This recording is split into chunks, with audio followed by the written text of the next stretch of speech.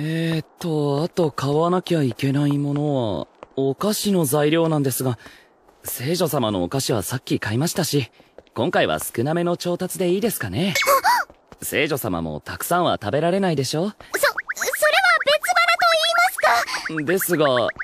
人生の楽しみを奪わないでください急にハードル上げてきましたね。